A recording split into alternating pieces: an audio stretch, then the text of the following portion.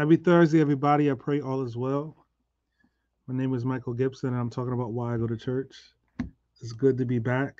I've been going a little bit. I've been traveling for work. It's been having me pretty busy, and I, wasn't afforded an opportunity to come on the last few weeks. So I'm just glad that time has permitted me or allowed me the opportunity, you know, to come on and share what God has placed in my heart.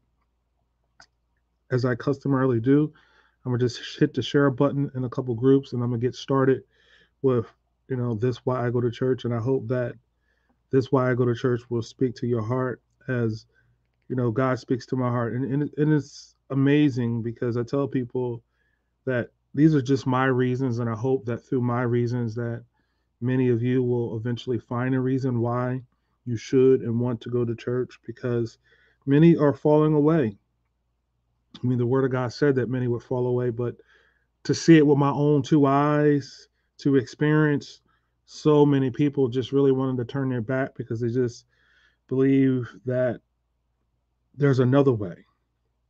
And I promise you, there isn't another way to spend eternity with God. There are other ways. There are messages that will inspire you. There are things that may bring hope. There are things that can make you be a good, morally upstanding individual.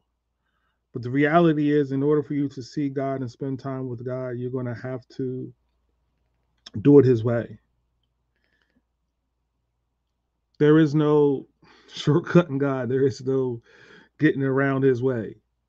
I say it over and over and over and over and over again. And I feel like I say it at nauseum sometimes because we think that I shouldn't say we, many think that they can get to God another way. And there isn't. There isn't another way, and there's there's never going to be another way. And I hope that um people come to the knowledge of that and really comprehend that there there isn't an, another way to get to God. there's one way to get to him, and that's through his son. And when you recognize that it's through his son, and that his son left a plan of salvation. He left his a living will and testament, which are the 66 books that we read from. And there's many different interpretations of the 66 books at this point. But you got to understand there's a difference between a transliteration of the Bible and then just having, you know, commentary and opinion about the Bible. So it's just important for us to stay strong and be steadfast in the word of God. And I try to be strong and be steadfast in the word of God. And today I just wanted to talk about uh, this topic that just was laid on my heart, and hopefully that you will get something out of it. It's to be in tune, in touch with the moment. That is why I go to church to be in tune and in touch with the moment. As I was reflecting about this time of year, many are graduating, many are attending proms. And I see that during this period of attending proms and graduations, we begin to prepare and we prepare like many other people do. Some rent dresses, some, you know, rent limousines, pull out red carpets, whatever they do. You're right, Tracy. We got to surround yourself with like minded Christians. And I just wanted to let you know that going to the prom, going to, you know, your graduation, whatever, whatever those things that we do, many times we are so busy capturing the moment that we miss the moment. We're so busy trying to set up a stage that we actually never get on stage.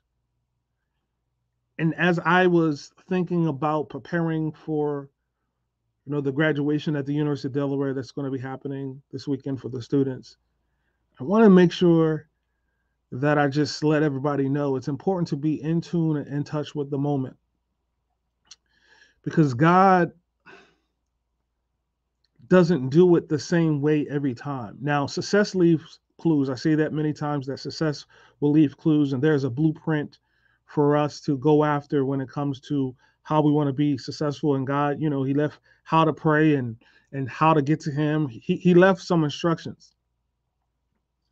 But I find that many of us are missing the move of God because we are expecting God to show up the same way.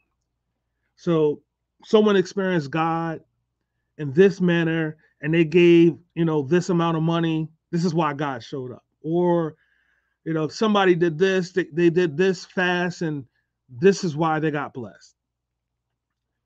God will bless you because you are his child and that he loves you. And God already made a plan and had his thoughts before you ever got to the face of the earth, before you came through the womb of a woman. God, God has already thought all of that out. And I think that many times we are, are neglecting the fact that we are not listening to God, but we're watching others and we're seeing other people's successes and getting to God. So we want to mimic that success. So you'll say that Michael started the new year off and he did such and such. So I'm going to do such and such because I want God to bless me that way. And truly, God is no respecter of persons. So I understand if God bless me, God can bless you. If God gave this, God can do that to somebody else. But as I was looking through the pictures of the prom, I I noticed the new thing right now is when you stand on the block and this camera it goes around you and it takes this 360 view. It's beautiful, it's wonderful. So I'm not hating on it, but I just begin to see how you see trends and how people keep going in the trend. They keep going after the trend. So this person's doing this, so I'm going to do it. This is what is popular, so I'm going to do it. And what ends up happening is when we get into this Christendom in in the mechanics of going to church and and hearing the voice of God, we are following people and they're all saying the same thing. So because they're all saying the same thing, we think that that must be God's move. God speaks in many different ways, and God moves according to his timetable and not my, a man's timetable. What do I mean? At the beginning of the year, you know, when it turned 2020, you know, everyone was talking about vision, that God, God's word for this year is vision. And that might not have been God's word. But because it sounded good and everybody else was doing it, you had so many people talking about, you know, moving in the vision, blah, blah, blah, blah. And they never really sought after God. So I go to church to be in tune, in touch with the moment. Because as I was reflecting on the moments that are coming up, I want to make sure that I'm giving God the attention needed so that I can move in the direction and operate under the auspices of Him to really be the ambassador, the embodiment, the epitome of what God is asking from me in this season.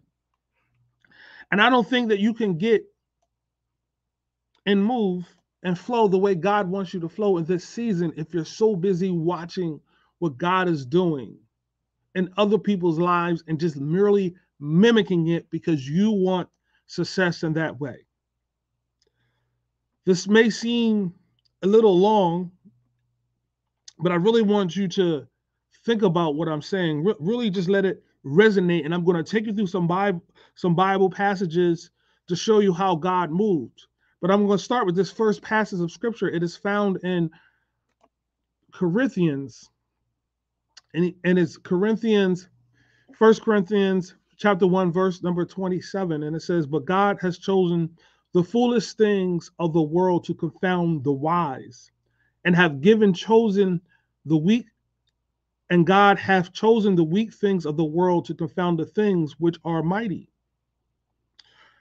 This scripture has really been ringing out in my ear. So God has chosen the foolish things of the world to confound the wise.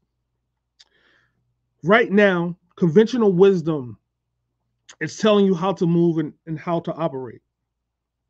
But in this dispensation of time, it's more important that you operate and stay in sync with God than stay in sync with the world.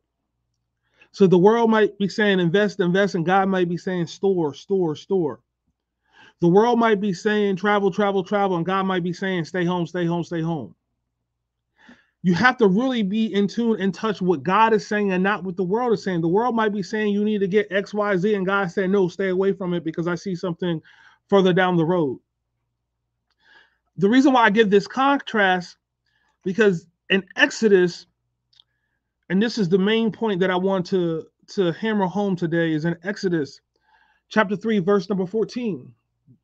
God is speaking to Moses and this is how he responds and God says unto Moses, I am that I am. And he said, Thou shalt thus shalt thou say unto the children of Israel, I am have sent me unto you. I'm gonna read it again. Exodus chapter 3, verse 14. And God said unto Moses, I am that I am. And he said, Thus shalt thou say unto the children of Israel, I am have sent me unto you. I go to church because I am that I am is getting to a place where he wants to be whatever you need him to be in that moment. So if you need food, God will be food. If you need shelter, God can be shelter. If you need direction, God will provide direction. Whatever that thing is that you need, I am is capable of being that thing. And what's happening is we are so busy, exactly, Tracy, riding the coattails of others and trying to produce success because that's what other people has done. I want to tell you that we have to become in tune to what God wants us to do so that we can be successful in the advancement of God's kingdom. And stop trying to recreate moments to say this is how God has to move. God can tell you to cross the street, and that could be the move of God that changes your life. God, can send you on what you thought was a wrong turn, uh, but it was the right turn because you were moving with God. I am that I am. What does that mean? Whatever you need, I am that. But in order for you to be in tune and touch with the moment, you got to seek after the voice of God, not after the voice of man. Now, God has sent his apostle, his prophet, his pastor, his teacher, his evangelist. He's, he sent that for the perfecting, for the maturing of the saints. But you also have to get to the point where you become in tune and touch with God so that you can understand where God is trying to, to lead and guide you. So I'm going to take you to some different examples where God blessed and God did things differently every single time. So I'm going to take you to Genesis chapter 22, verse number 13. So Abram, Ham, God told him to sacrifice his son, and this was a, a test face, and this was a this was a test of his faith and to see if God, if Abraham would be obedient to the voice of God, if he really was in tune and in touch with God. Now you can go through Genesis chapter 22 and read through it, but high high level, this is what is happening. That Abram is going and he and he has his son, and he's he's going to take Isaac up and he's going to sacrifice him. Because God is I am that I am, in verse number 20, chapter 22, verse number 13, and Abraham lifted up his eyes and looked, and beheld behind him a ram caught in the thicket by the horns. And Abraham went and took the ram and offered him up for a burnt offering in the sun. So he offered him a burnt offering. So Abraham was supposed to sacrifice his child because Abraham was in touch, in tune with the moment. He heard God speak in, in the bush. There was a ram. And we use that that God will provide a ram in the bush, and we use that as a means of not to be prepared. Sometimes we're like, I don't know what's going to happen, but God is going to provide a ram in a bush. But for God to bless you, He might actually tell you to be prepared, right? He might actually give you different instructions because a lot of times it's using what God put in front of you and we miss the move of God because we're looking for external things. We're looking for something great. One of the greatest things that you can ever do is actually hear the voice of God and move when God says move, because it is the obedience that changes the course of your life. Your obedience to the instructions that God has given is going to alter your life forever. and it will line up with the plan of God. But what ends up happening because Moses saw a, a ram in the bush, excuse me, Abraham saw a ram in a bush. We now go looking for a bush because this this is where it's coming from. But God may not be looking to fight the battle in that way. We go to Judges chapter uh 15, verse number 15, and he found a new jawbone of an ass and put forth his hand and took it and slew a thousand men therewith. So this was Samson now. Samson now is fighting the Philistines, and Samson is outnumbered. And we know that Samson was blessed from God, but he's outnumbered, but he's in tune and touch with God. And he looks around, he sees a jawbone, and he picks up the jawbone of the ass and he and he slays the Philistine, right? So God used a, a ram in the bush, and then God used the jawbone of an ass. And then we go to David. First Samuel chapter 16, verse number 23. And it came to pass when the evil spirit from God was upon Saul that David took a harp and played with his hands. So Saul was refreshed and was well, and the evil spirit departed. When you understand, when God says that I am that I am, he's with I am that I am means that whatever you need in that moment, he is capable of fulfilling. But because we're not in tune, in touch with the moment, we spend our lives trying to recreate moments. And when God doesn't show up, because we created a moment that God didn't create for us, we say that God is not doing for me. He's not showing up for me. And I'm being reminded is that God is showing up for me every single day. I'm just not doing the best of job listening to the instructions that God has for me. And I'm so busy watching what God has done for someone else. And because I want the success that the other person has, I'm beginning to do the thing that the other person done. We serve an exceptional God that has exceptional plans that are individualized for every person. And He knows the time and the season that we are to be prosperous and when we should be blooming and when we should be walking in. What I'm trying to relate to you, it is not the location that caused the blessing. It is not the Jordan River that, that Naaman uh, washed in that blessed him. It wasn't the jawbone that blessed him. It wasn't Saul that was being blessed by David because of this, because he played the harp. It was the Spirit of God. It was God Himself moving. And because those men and women of God throughout the Bible followed the instructions of God, we saw a move of God. So sometimes we want a move of God and we say, we need to have service Friday night, Saturday night, Sunday night, and we're going to call revival and we're going to pray and, and God's going to move. And it's important to set the atmosphere for that to happen. But if God didn't call it, God is not necessarily obligated to show up. Now, understand where two or three are gathered in the midst, that God, God can show up because he, he inhabits the praises of his people. So we we can cause God to show up because we do things to invoke God's presence. But I'm talking about in this season, we really got to be in tune, in touch with the moment. Stop trying to be the person that is creating a moment that was like the last moment. Another way of saying this is be where God is and not where God was. Be where God is and not where God was. We're chasing success in a way that other people had success and and there is some wisdom in understanding how to build things.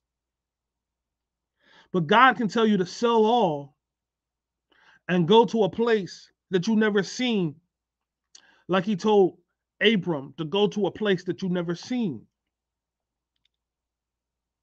God can tell you it's time to leave the city because judgment is coming. And don't turn back. Don't go back because judgment is coming. And you can stay in a place because you see everybody moving to that place.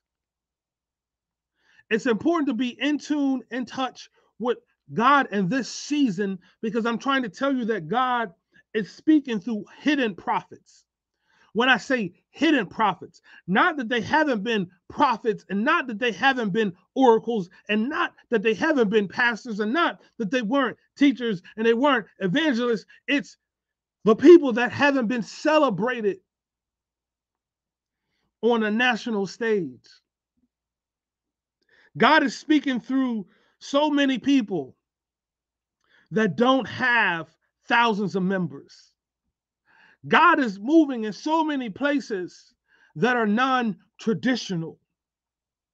And we're trying to evoke the move of God because we think that we need to be like this mega pastor and that we need to say and sound and have our service. I remember being in service, and one of the greatest moves of God that I experienced having his presence of God, I'll never forget it. We go to this church, and there's the organ, there's no organ, there's no drums, and there really wasn't any mics. And we just begin to have praise and worship service just with good old hand clapping foot stomping. And the body of the voice of the members, I, I still can hear. We just was clapping our hands and stomping our foot, feet. And we began to sing on one accord, and God showed up in such a powerful way that it still sticks with me some 30 years later. I still remember God showing up. And I think that right now we're asking for God to show up in ways because this is how God has shown up. I feel that God is saying in this season, Behold, I will do a new thing. And God will show up for people that we didn't suspect God to be talking with. Because what is happening is that some people have been doing what I call studying and neology. They've been communicating with God when the door has been closed. See, they haven't been publicizing all of their moves. And so many people have been publicizing their moves because they want you to know that they know God. So God is doing this and God is doing that. And I'm grateful for the testimony. But I realized that their testimony was just to try to show you that they were having moments. Their testimony just was trying to bring the spotlight on them. And they didn't realize that God had already left them because they were just trying to create moments to get people instead of being in tune and in touch with the movement. This season is about lives and saving souls. This season is about advancing the kingdom of God. This season is having heaven on earth. Thy will be done on earth as it is in heaven. This season is about recreating God's moments here. I am sent me. I am that I am. Who do men say that I am? Some say that are Elijah. Some say that thou art the prophet. And then someone says that thou art the Christ. When you get the revelation that God is the missing link to everything you need,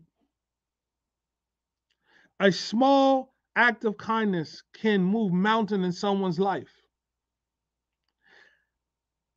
Your hello could be the thing that creates a moment of success in someone's life. How do you know that someone is not on on the verge of giving up and you just come by and say you can make it? Glad to see you. I appreciate you being here. That being in tune and touch with god can can can change the trajectory of someone's life.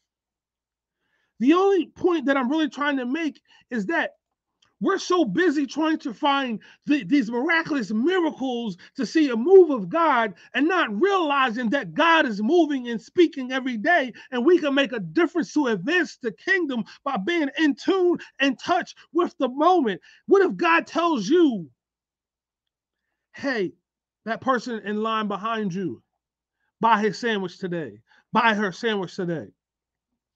What if God impressed upon you while, while you in in the store Hey, get get an extra shirt or short and, and, and, give it to, to this person?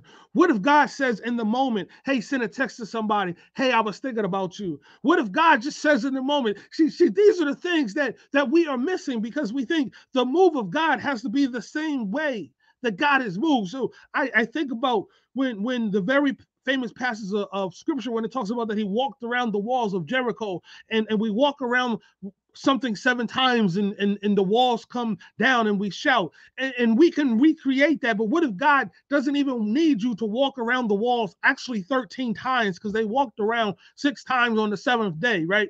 So you can create a moment with god by hearing his voice.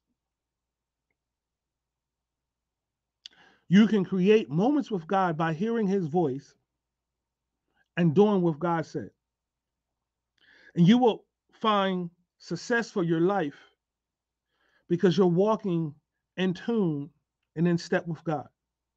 There's a powerful illustration that I saw on the internet where they're double dutching, they're jumping rope. And, and in order to, to get into the double dutch, you got to watch the rope. And what ends up happening is if you ever try to double dutch and, and it's it's challenging, you just can't run in there because they're swinging, they're doing this. You just can't run in and and get in the middle and, and, and not let the, the rope stop.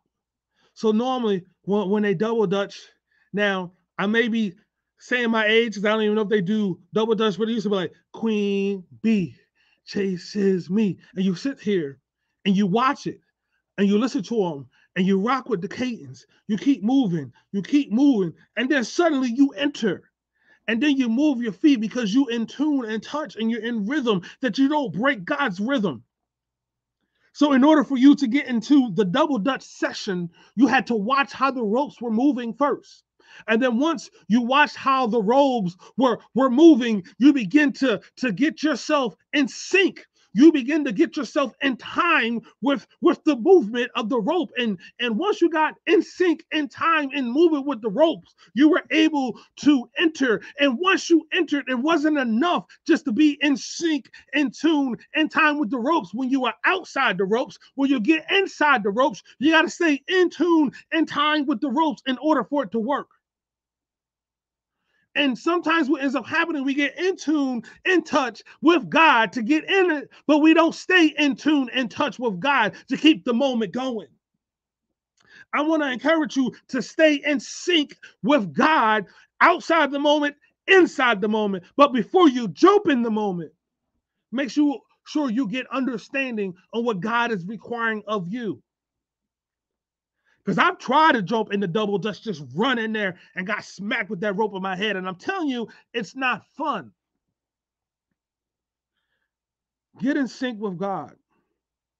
But in order for you, oh my God, Tracy, Tracy, you you you you doing it. You have to wait patiently for your time to enter. You have to wait patiently for your time to enter. And we are entering outside of God's time and we're not seeing the success because we thought it was our time to enter because God was moving in a manner with somebody else. Why am I going this way? So I'm going to share a little story. So I've been doing this why I go to church for a little bit of time now, almost five years. And I remember when I first got in my car and God had laid it on my heart to speak. And I said, God, why are you having me do this? And I remember I've been in my car, and at the time, people were having all these fancy backdrops and they were doing all these wonderful animations. And I remember looking, and God said, Stop looking at them. That's not what I called you to do. I called you to just do why I go to church. And there was times where I was getting disheartened because it's like, is anybody listening? Am I reaching anybody? And then God would send somebody to say, Michael, just hold on, just, just keep doing it. And part of the reason why I started, why I go to church, because I felt God just telling me it was my time to speak. Because traditionally, I had been a musician in the church. I had I had grown up, growing up playing the congas in the church. growing up playing the drums in the church. So most people thought of me as a musician. So when when God was beginning to transition me behind the scenes because God was giving me dreams and aspirations to speak because I felt like God was calling me to say something. Someone that was quiet, someone that was reserved, someone that would stay off to the side, someone that really didn't like to speak his own words in front of somebody. God had put it in my heart to speak that it was just my time to step out. And i didn't really even know what i needed to do or how to do it. God just said speak. And i just began to speak and i began to speak and i began to speak and i kept on speaking. And i would be like god there has to be more. I need more audience. I, I got to have more effectiveness. What, what is it and i remember god telling me turn off the internet and stop looking at what everybody else is doing. Just do what I'm telling you to do. And if you trust me, your time will come. Your time will come. Trust me, the things will come. And, and as I continued to, to work on the thing that God had given me, I didn't have any software. I was using a free software. And then God laid it on somebody's heart. Hey, I got a software for you that you can begin to use to, to produce your videos. And this software cost a lot of money. So I was grateful that someone had gifted that to me. And then I remember I kept speaking, and my production value of why I go to church went up. And then from that, someone came to me and said, I've been listening to what you've been doing. I would like to have you be a part of this online event. It's it's it's it's nothing major, but I think you have a lot to say. So I, I joined that online event and I was like, okay, I'm gonna do it. I, I don't see the point in doing it, but I'm gonna do it. So I, so I did. I just was being uh, obedient because God said it was okay for me to do it. Prayed about it and I did it.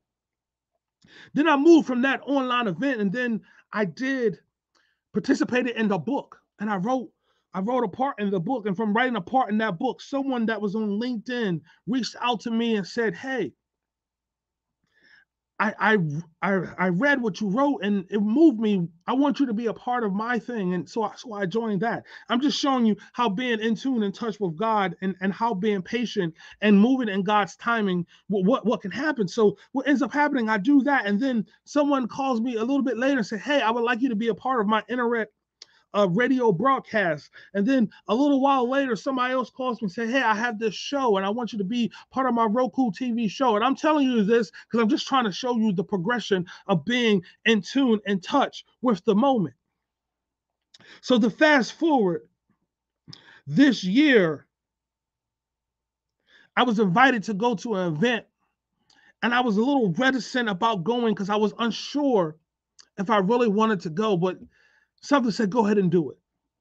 So while I'm at this event for my college, they began to ask for feedback, and I just spoke my heart. I, I spoke what God had given me to speak. So I'm at this engineering event for the program that I was associated with with the University of Delaware. And I say what's in my heart. And I remember them at the end of the meeting. You know, my mentor had said to me, Wow, that was very profound what you said.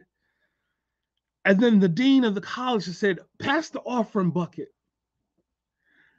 And you know how when you you know that God is using you and that you're being obedient to what God is telling you to do, and someone references that pass the offering bucket that's usually given to someone that they want to designate like as a preacher or something like that and sometimes you know you're just trying to be corporate and trying to be be correct but what's in you comes out of you so at the end of that session, the dean came to me and he asked, you know, you should think about being a speaker or a preacher or something, right? And I said, well, you know, I, I do this and that. And I was just really trying to be humble and modest. I didn't really want, want to be in the forefront.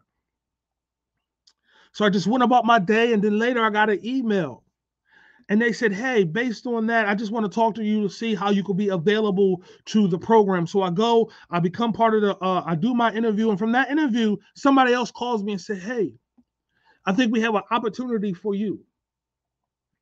So now, when I reflect back of being in tune, in touch with the moment.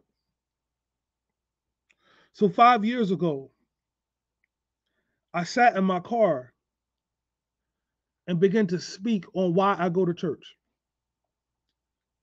And I remember my coworkers like, "Who you talking to?" And they were laughing like, "This dude's in the car. It's in the middle of the summer because I would turn off the air conditioning sometimes because it would be too loud in my video."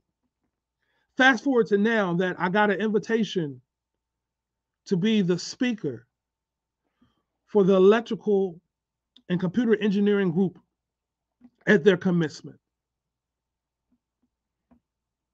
Did you hear what I said? I am now the speaker for the Department of Electrical and Computer Engineering at the University of Delaware to speak to the engineering graduates. So, not for the program that I was in, but for the whole entire engineering body. I say all of that is because what I said at the meeting was what God had put in my heart. And when they interviewed me, I told them what God had put in my heart. And I told them that if if you want me to speak, all I know is faith, and all I know is God. And even the name that I, I write under is called Biblical Poet because I want people, when they tune to my channel, to know what I'm about. You know, it's going to be something dealing with the Bible, and it might be rhythmical or, or poet poet based. And there was a time that when I started my page, I remember on my biblical poet page, I didn't have any of this why I go to church on because I just wanted to be about poetry. And one of my good friends, Jerry Poe, actually, he called me and said, Michael, why don't you have why I go to church on the biblical poet page? I said, Well, because it's not poetry. I remember Jerry saying to me, But that's who you are, Michael. That's what you do. So you should put it on your poetry page. And I thought, like, well, who who wants to listen to that? But see, that was being in tune, in touch with the moment because God used him to call me to go ahead and, and, and do that. So to fast forward five years later, being in tune, in touch with, with the moment, I go, I speak, I say what God told me to speak, or, or I said what God told me to say. And even when they interviewed me, I said what God told me to say. And at the end of that interview, they they they offered me another opportunity with somebody else, and I told that guy why I do what I do and, and why I'm so passionate. I said, because I believe this is what God has called me to do.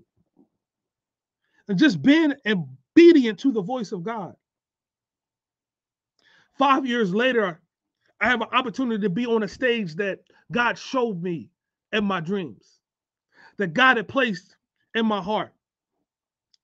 I didn't follow the path of many others that went and solicited help and, and tried to pay for views and and try to pay for likes and and tried to do all the stuff that everybody was doing. I just was staying true to God. I wasn't trying to mimic the success of other people by using this type of program and this type of filter and this type of scheme and this type of thing because I knew if I stayed in tune and touch with God and if I waited patiently that the moment would come there's a passage of scripture that says, Humble yourself underneath the mighty hand of God, and he will exalt you. He will exalt you. The reason why this is important to me, because I want to be right for the moment. I want to be in tune and in touch with the moment. I don't want to be mimicking somebody else's moment. I don't want to be out of sync with God. And I know that if I try to recreate, I'm going to just say this speaker's name because he's very prominent. There's only one TD Jakes. There's only one Steven Furtick. There's only one Michael Todd. There's only one. Because God doesn't create carbon copies. He create original views. And you can go study under these people. There's only one Maverick City. There's only one Elevation Worship. There's only one Hezekiah Walker. There's only one Kirk Franklin. You can have people that sound like these individuals, but they are not them. And God has a stage, and God has a moment, and God has a place, and God has a plan for you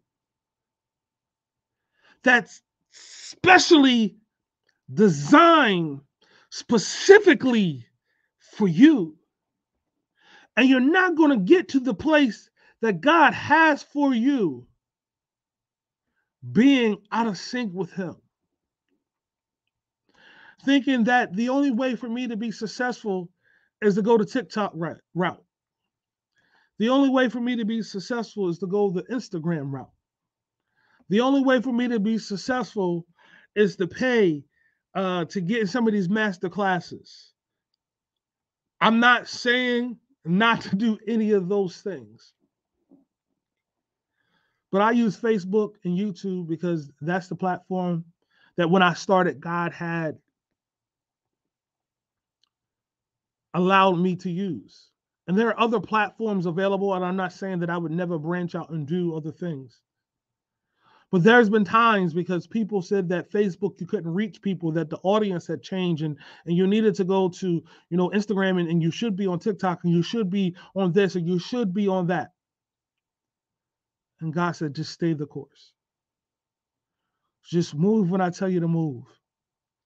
And enter when I tell you to enter. And there will be an access point given to you. The access point may not be the access point that he's given some of my friends because the path that God has for me is different than the path that God has for you. I just want to encourage you to be in tune and touch with the moment that God has for you. And many times, the thing that God is calling you to do, the tools He's already given to you, but it, you got to have the faith to reach out and grab the jawbone and swing for the fences. You got to be willing to use the instrument and the gift that God gave you. And sometimes when you're gifted, like in the story of the talents in Matthew's, God will give gifted people many gifts that handle the responsibility of the gift. Sometimes we can't move forward because we are irresponsible with the gift and talent that God has given us, and because we're not utilizing the gift and the talent in the way that God has designated or designed for us to do it, we're not reaping the rewards and we're not at the place that God designated for us to be with or be at because we are out of tune with God to get in that double dutch. You got to wait patiently. And when you get in, I want to encourage you don't leave the thing that helped you get what you got. Do not leave the thing that helped you get what you got. So when you get in tune and touch with the rope and you get in middle of the double dutch, you can't lose focus. You got to stay in sync. You st- still got to hear the rope smacking. You still got to gotta listen to the cadence of the song to make sure that you're in rhythm. And what I sense is a lot of us, we're not seeing the success because we sought hard after God in the beginning. And we did all that we needed to do to get in the position to be successful.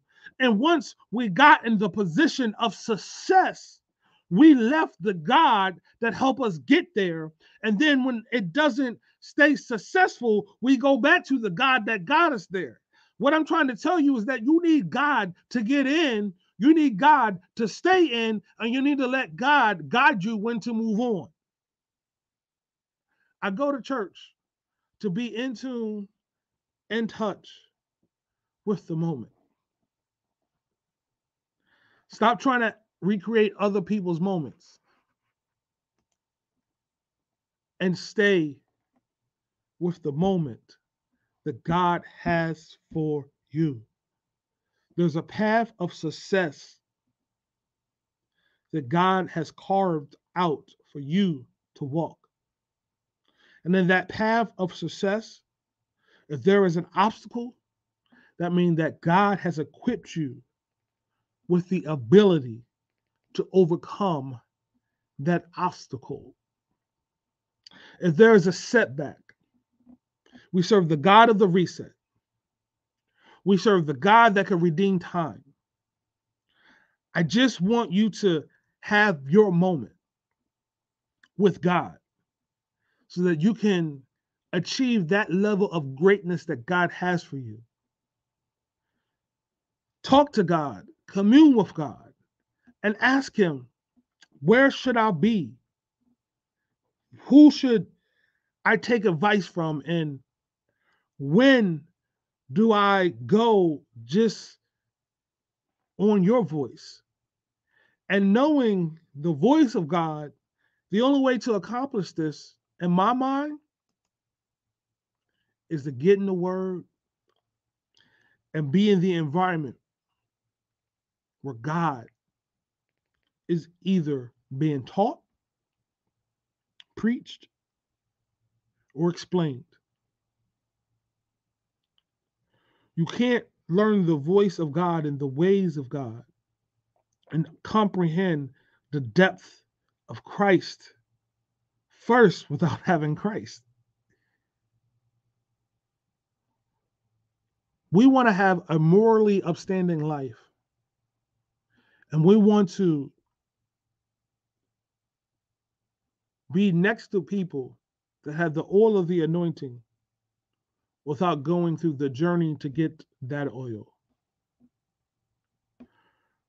So, because somebody had a handkerchief and it blessed, people just take a, a blessed oil handkerchief and say that you're going to be blessed. And I'm not saying that that doesn't work. The point I'm trying to make you could be the trendsetter for your generation just by being in tune, in touch with the moment. God has a moment for all of us. But will we follow the voice of God? Or will we follow the voice of man? I just want everyone that listens to me now or later to assess are we really listening to God's voice? Or are we or are we really just trying to recreate what we've seen others do? Remember, I am sent you. I am gave you a birthday. I am gifted you. I am called you. I am foreknew you. So whatever you need in this season, I am has it for you. Whatever you lack, I am has enough to make up the deficit. If you need to be increased, I am can increase you. If you need healing, I am can heal you. If you need more faith, I am can help you walk in faith. If you need more love, I am has it. If you need more courage, I am have it. If you need more peace, I am has it. Whatever you need, I am can be to you. But you first must know who I am is. Stay in the word, stay in his face, and you will find success in your due season. Don't shortcut your season trying to follow in someone else's season. This is Michael Gibson, and it's why I go to church to be in tune, in touch with the moment. Do not be so busy trying to capture the moment that you're not in tune, in touch with the moment. We live in a society where catching it and capturing it for the internet has become more important to listening to the voice of God. The powerful one of the most powerful things you can ever do that will change the course of your life was obey the voice of God. Be blessed.